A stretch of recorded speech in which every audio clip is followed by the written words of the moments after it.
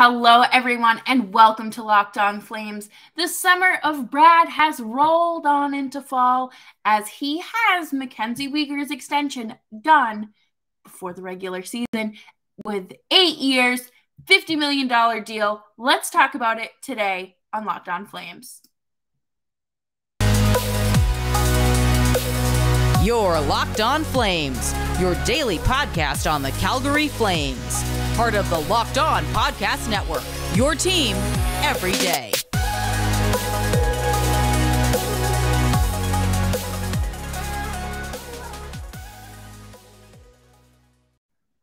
Hello, everyone, and welcome to Locked On Flames. As always, I'm your host, Jess Belmosto, and thank you so much for making Locked On Flames part of your day.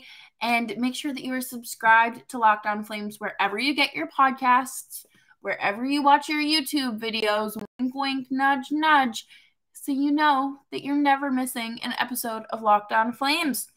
My goodness, what a great way to kick off the weekend, to wrap up the preseason with the announcement of the Mackenzie Weegar extension. Eight years, 6.5 average annual value, and it ends up being a $50 million deal. You know, you cannot hate this. You you have to relish in the fact that this deal is done before the season starts. He is making $6.5 million as one of the strongest puck moving defensemen in the league. And he's only 28. And this is his prime this is his prime. I feel like $6.5 million is going to be a steal, especially when you see what defensemen are making now before the cap goes up. You know, we see, you know, Charlie McAvoy making what I think like $9 million. You have um, plenty of other defensemen like Brent Burns making $11 million, Erik Karlsson making all that money. And I just, I truly feel like getting Weegar for what for less than eight is fantastic. I will say that. And y'all know that I love a good grinder. You know I love someone who puts in the effort and is an underdog and just takes that might take a little bit of extra time to get where they are and to appreciate that success. And I think that Mackenzie Weegar is one of those players that we really need to talk about and just appreciate that underdog story, especially because I feel like this team will always have that underdog, quote unquote, smaller market mentality.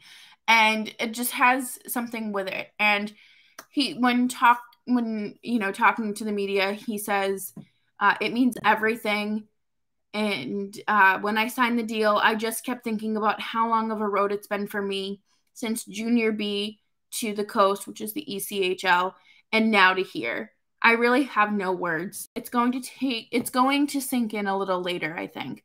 It'll be emotion it'll be emotional later to call my mom and dad.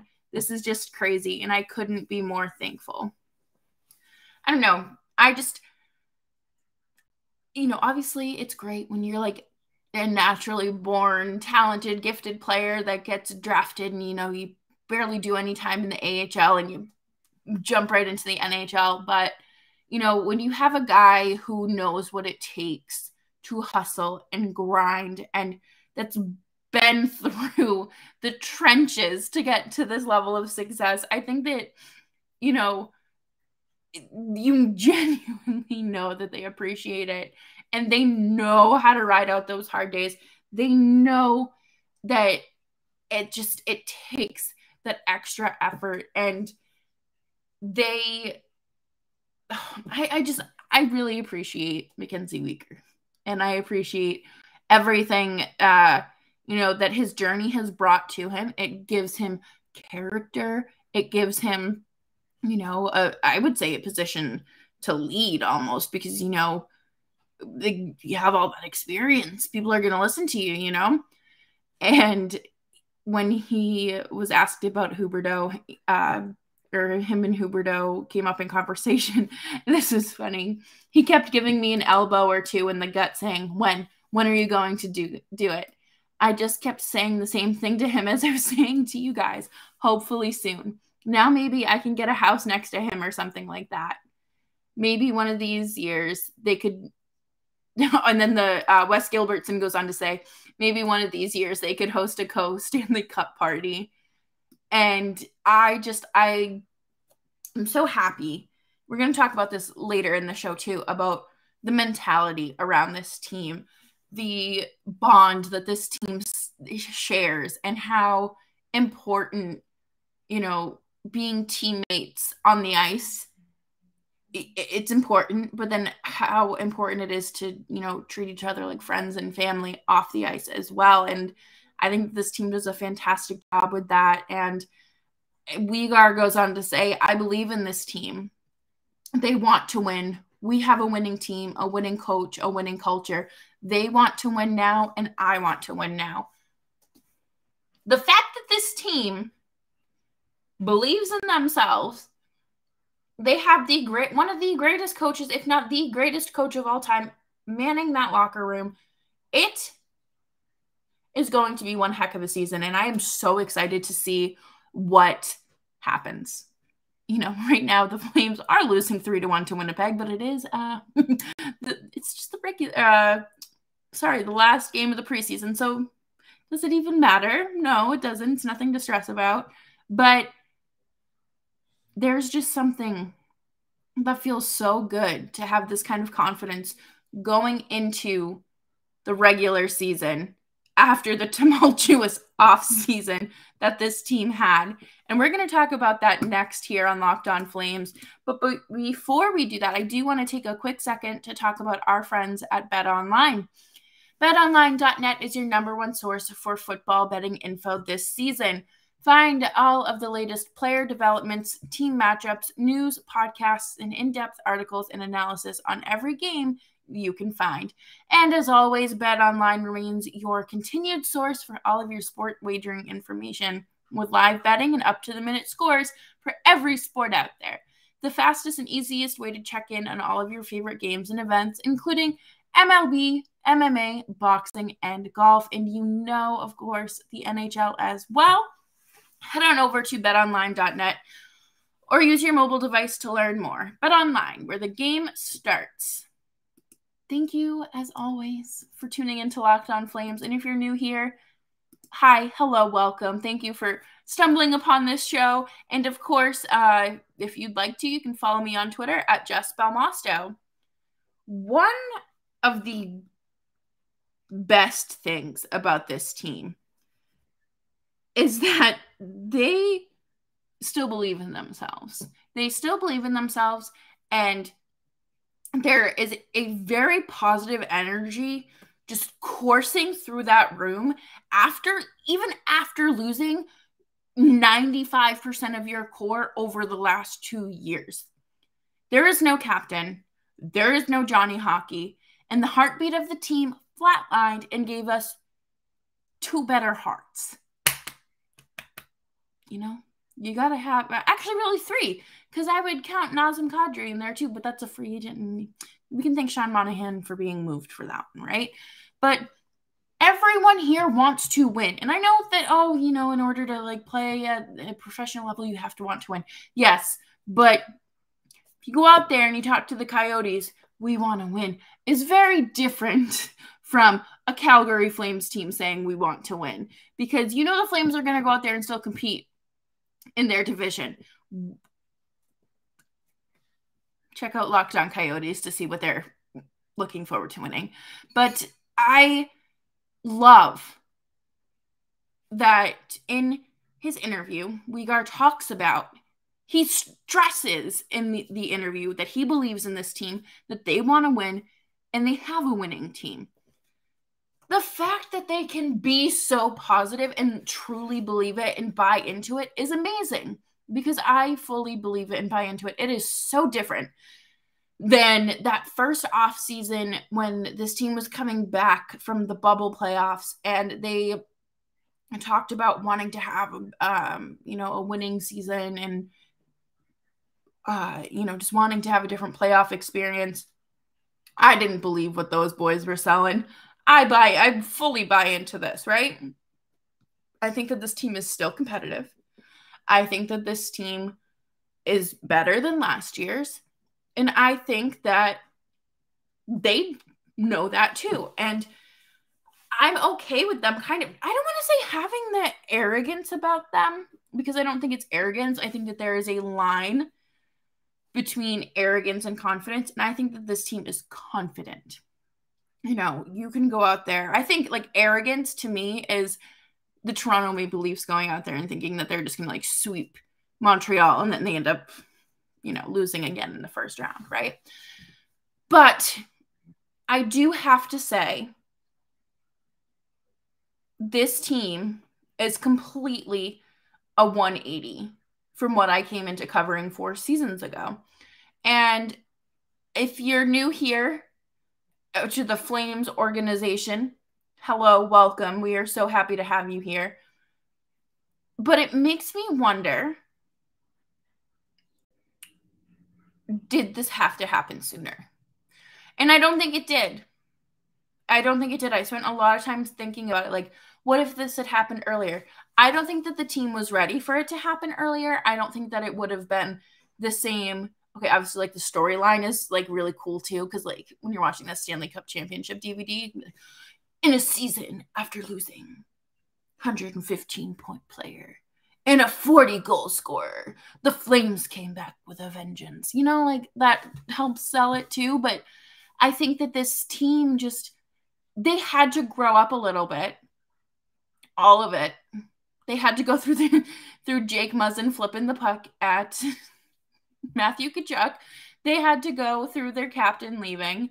They had to go through one more bad coach, just one more until they got to Darryl Sutter and finally had someone who can win, who knows what it takes to win and has what it takes to win. And, you know, they helped make Calgary a destination last year. And I'm just saying, I'm sure that the better that they get, the more of a destination it will be. You know, the same way that if I say Boston, someone's going to yell at me in the comments for saying I only talk about the team that I root for. But I mean, Boston was a still is a competitive team and is a destination. I would say Carolina is a destination. I would say Tampa is a destination. I think the Panthers are still a d- destination, maybe. But I just, I do think that Calgary has become one of the most attractive teams in the league. And, you know, they're going to remain competitive this season. They are so lucky to have had the flexibility to move Sean Monahan to bring in Kadri because I don't think it would have been Luch waiving his no movement clause again to bring him in. I really want to see who steps up as a leader. I think that they would have named a captain this offseason if they were to do it this year. I mean, they could always switch it up, but I just I feel like they they would have done it earlier. Or at least by now. You know, maybe they'll do it between now and when the puck drops on Wednesday or Thursday when the season starts. But I don't know because I don't think that that's the most important thing to the team right now. I think that everyone contributes in a way that is much bigger than, you know, wearing a C. I mean, they technically all wear a C, but you know, the special C. um, and you know, I, I think that you don't need a captain, especially in a locker room like this. You don't need a captain because everyone is proud of themselves and is a leader in them in themselves. So, you know, and I think that's part of the culture of winning. I think that in years past they needed a voice to turn to. They needed someone to get you know, keep the morale up. Be like, yes, we can still do it, even though they couldn't. And, you know, I give Gio a lot of credit for trying his best because I know what it's like to captain a ship that has no direction. And it's not very not very fun. It is very difficult to do. But again, this team still has a lot of positive energy. They have a lot of commitment. And I saw someone say uh, that, you know, they have a lot of faith in guys that they haven't, you know, even seen play a regular season game yet. Like for their own for their team for for their team. And it's like, well, that's pretty much how you can say every free agent signing is, whether they're traded or, you know, they are a free agent. Like, you just, that's how hockey deals are made. But again, I think people talk just to talk and you can hate outside the club you can't even get into. You know, it is what it is. But um Coming up next, we are going to talk about winners and losers of the week because it is Friday, and I thought that what a great way to wrap up the week with with our winners and losers. And thank you all for hanging out with me on Locked On Flames and make sure that you are subscribed wherever you're getting your podcasts. Every Friday, I try to do the winners and losers segment to wrap up the show because I think it's a great way to reflect on the week and it gives us something to talk about. Uh, sometimes it's outside of hockey, outside of sports in general. And, uh, you know, I, I do think that this is a good way to reflect on things that need to change as well. And we're going to start with our winners this week. I have two winners because I don't think it, it would be fair if I just named one. But I'm going to start with uh, Aaron Judge, who hit his 60 second home run and breaking the record um, for most home runs in a regular season by a Yankee. So, congratulations. I hope you sign with the Red Sox this offseason. Thank you.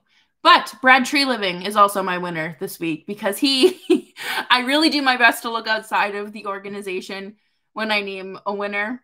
But I, I just, I can't. I'm sorry. I really can't. I, I'm obsessed with Brad Treliving and his how busy he was this summer and he just he has his nose to the grindstone and he is going and he was on a podcast earlier this week talking about how his daughters were or how his daughter was so upset with him and how he like she wouldn't go anywhere um you know like she wouldn't give her name. And then when she went to the Stampede after uh, the Huberdeau and um, Weegar were traded and the Huberdeau extension got done, then she used her name at the Stampede to try to move ahead in the line.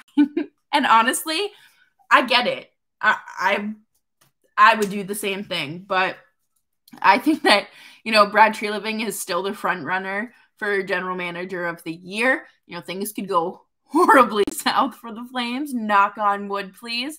But I think the fact that he was able to get those extensions for Huberdeau and Weegar done before the regular season after losing to, well, one UFA and another RFA in one summer.